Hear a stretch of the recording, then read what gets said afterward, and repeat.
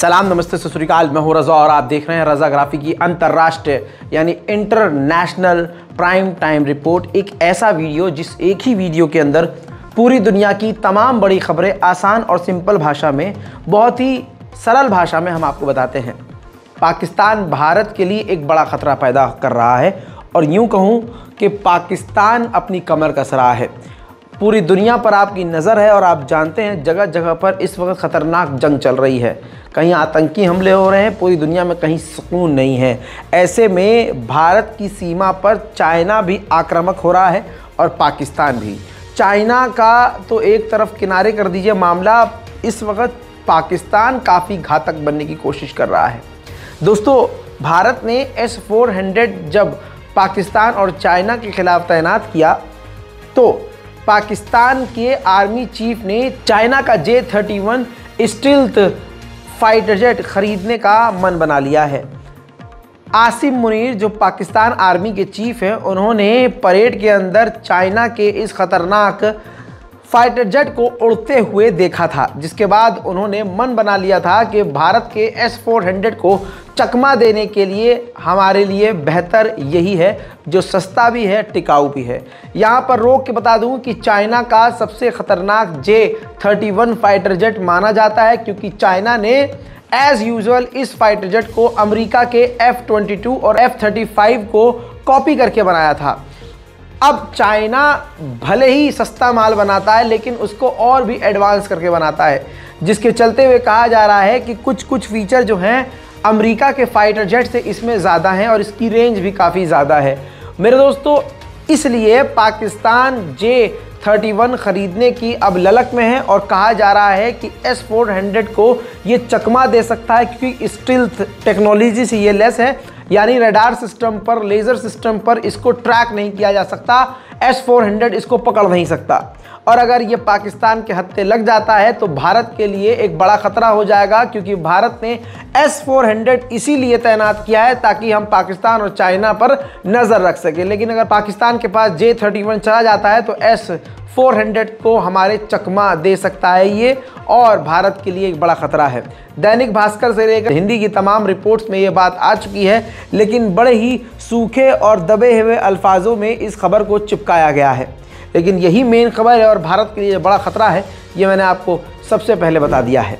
दूसरी तरफ़, भारत के मुसलमानों का कत्लेआम मोदी सरकार करवा रही है। प्लानिंग के तहत मुसलमानों को मार रही है। गिरफ़्तार कर रही है। मुसलमानों को मारकर उन्हीं को जेल में डाल रही है।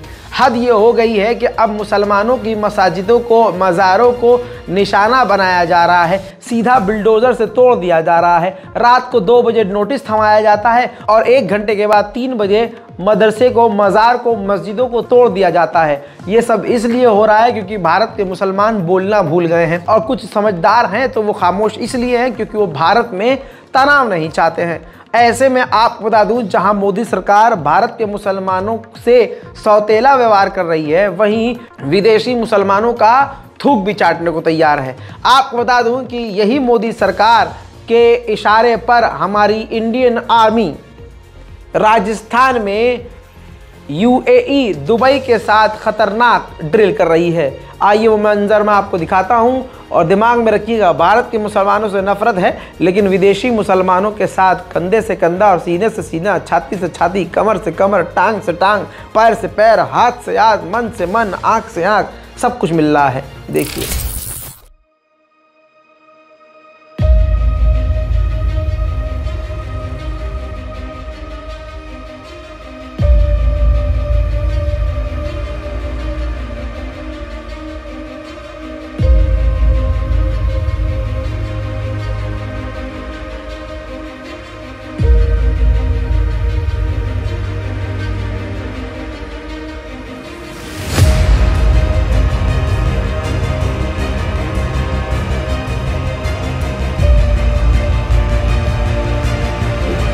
भारत के विदेश मंत्री माननीय जयशंकर ने कटाक्ष किया है कनाडा पर, कहा है कि कनाडा ने, कनाडा की सरकार ने खालिस्तानी लोगों को अपने देश में, अपनी सरकार में बहुत ज़्यादा जगह दे दी है, जिस वजह से कनाडा और भारत के रिश्ते ख़राब हो गए हैं।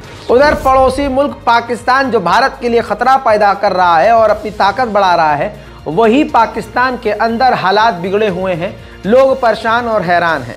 भले ही पाकिस्तान के लोग बेचारे अपने मुल्क की तकलीफ़ अपनी ज़बान पर नहीं लाते हैं, लेकिन हकीकत यह है कि खुद समझ लीजिए कि पाकिस्तान के इंटीरियर मिनिस्टर ने खुद कहा है कि पाकिस्तान के अंदर टीटीपी के साथ आईएसआईएस भी अपने कदम जमा सकता है और आतंकी हमले कर सकता है। तहरीक तालिबान पाकिस्तान ने कई इलाकों पर अपने पैर जमा लिए हैं और इसी के साथ साथ अब दाइश भी वहाँ पर पैदा हो सकता है और अपने पैर जमा सकता है। दोस्तों, ये सबसे ख़तरनाक खबर है। हमारे लिए ख़तरनाक नहीं है, खुद पाकिस्तान के बेचारे जो आवाम है, उनके लिए ख़तरे वाली खबर है। दोस्तों, भारत की इसरो और एलन मस्क की कंपनी अब मिलकर काम करेगी। ये भारत के लिए ऐतिहासिक कदम होगा। अब जो अगली हमारी जो सैटेलाइट अंतरिक्ष में जाने वाली है, वो एलन मस्क की स्पेस एक्स के रॉकेट से जाएगा।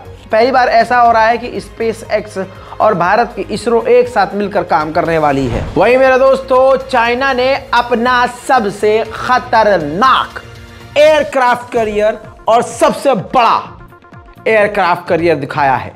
फुजियान टाइप 003 दोस्तों, कहा जा रहा है कि ये चाइना का अब तक का अब सबसे खतरनाक और सबसे बड़ा एयरक्राफ्ट करियर है। उधर ताइवान का कहना यह है कि चार चाइनीज़ स्पाई बलून हमारे इलाके में नज़र आए हैं ठीक चुनाव से पहले। म्यांमार के अंदर कांड चल रहा है। पब्लिक आर्मी, जो जनता आर्मी है, वो मिलिट्री से भिड़ी हुई है। नुकसान चाइना का होने लगा था, क्योंकि आर्मी हो या जनता हो, दोनों की भिड़ंत में जो चाइना की कंपनी है वहाँ, म्यांमार में, और चाइनीज़ फॉर्म जो है, जहाँ इन्वेस्ट किया हुआ है, वहाँ हमले होने लगे थे, वहाँ नुकसान होने लगा था।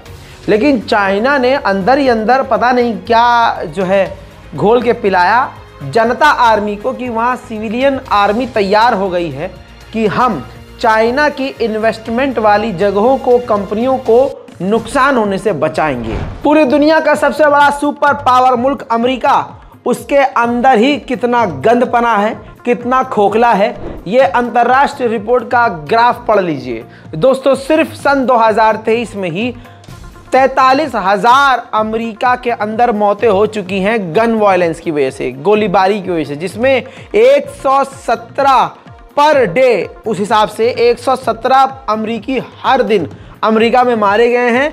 लगभग उन्नीस हज़ार डेथ जो हो चुकी है। इसके अलावा देखो, इस ग्राफ में बताया गया है कि 1700 विक्टिम हैं जो बच्चे हैं। यानी 1700 सिर्फ़ बच्चे ही बच्चे मारे गए हैं। पूरे अमेरिका में ये गन वॉयलेंस हुआ है। ये वही अमेरिका है जो पूरी दुनिया को हथियार बेचता है दो देशों को आपस में लड़वाता है। एक को खुले में हथियार बेचता है, दूसरे को ब्लैक में हथियार बेचता है, लेकिन आग उसके घर में भी लगती है। मेरे दोस्तों, तुर्की ने स्पेन के साथ डील कर ली है, एग्रीमेंट कर लिया है। जिसके मुताबिक रजब तैयब उर्दगान की सरकार ने ऐलान किया है कि अब हम अपना देश का पहला एयरक्राफ्ट करियर स्पेन के साथ मिलकर बनाएँगे। उधर नॉर्वे जो है, दो एफ़ सिक्सटीन विमान अपने डेनमार्क भेज रहा है। जहाँ डेनमार्क के अंदर यूक्रेन के पायलट्स एफ़ सिक्सटीन विमान उड़ाना सीखेंगे। नेटो के देश मिलकर अमेरिका से 1000 पेट्रियोट डिफेंस सिस्टम के मिसाइल खरीदेंगे रशिया से सामना करने के लिए।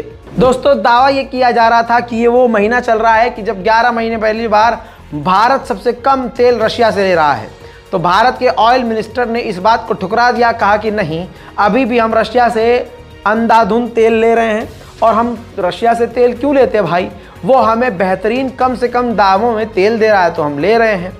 और हमारे बीच इतनी अंडरस्टैंडिंग है कि हमें लिखा पढ़त और डॉक्यूमेंट की ज़रूरत नहीं है। दोस्तों, रशिया ने जानकारी दी है कि यूक्रेन से और रशिया से मीडिएशन करवाया है। यूएई ने दोनों देशों से बातचीत करवाई है। आपस में और 200 यूक्रेन के कैदियों को रूस से आज़ाद करवाया है। और वो रूस से जो यूक्रेन के कैदी आज़ाद हुए हैं वो ये है।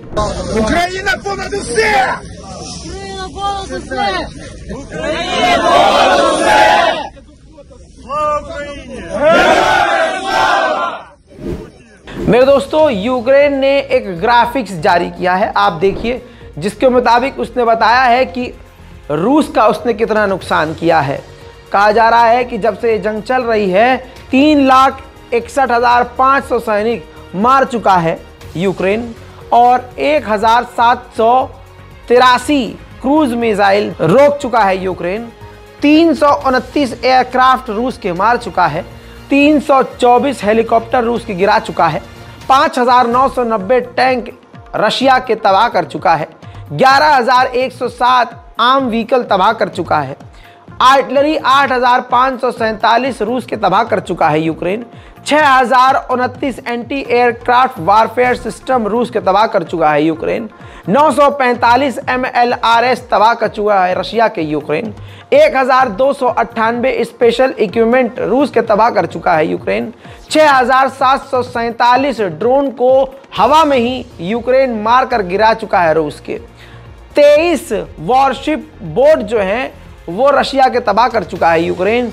एक सबमरीन को भी तबाह कर चुका है यूक्रेन। ग्यारह हज़ार तीन सौ इक्यानवे व्हीकल एंड फ्यूल टैंक को रूस के तबाह कर चुका है यूक्रेन। दोस्तों, इससे आप समझ सकते हैं कि रशिया को ये जंग हल्की और सस्ती नहीं पड़ी है। कल मैंने आपको वीडियो में एक अहम जानकारी दी थी। लीजिए, भारत के अंदर जो तोप का गोला बना है, उसका वीडियो मैं दिखा रहा हूँ। जो बोलता हूँ, सबूत के साथ बोलता हूँ।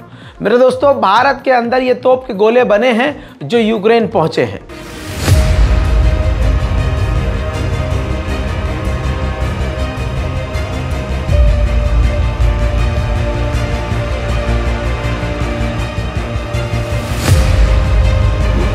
इंटरनेशनल प्राइम टाइम रिपोर्ट में आज और अभी के लिए इतना ही। चैनल को सब्सक्राइब ज़रूर कीजिए। वीडियो को लाइक करते हुए अपनी राय कमेंट में ज़रूर लिखिएगा। जय हिंद।